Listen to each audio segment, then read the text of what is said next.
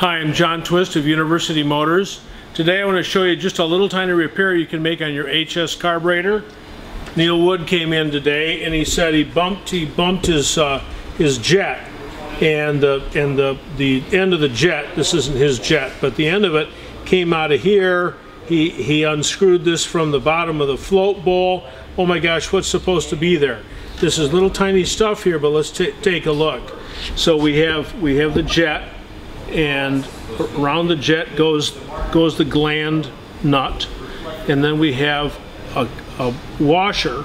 Oh boy if you don't have this my guess is Ace Hardware doesn't either but anyway you want to have that. And then you've got a number 8 O-ring. Now these are Viton uh, to uh, make them impervious to this gasoline that the uh, the government has, has conspired to give us. Um, Anyway, these are number eight. You don't need two of them, you just need one. The reason I've got two is because if you do one jet, help me out, you're gonna need another. So you gotta have the hole in the bottom of the float bowl all nice and clean. Use a pick, get it all nice and clean, put this all together, put some grease on it or some oil in it, and then press it in, press it into the bottom of the, of the float bowl and begin to tighten it up. It'll catch don't let the tube slip out while you're tightening up the gland washer, gland nut.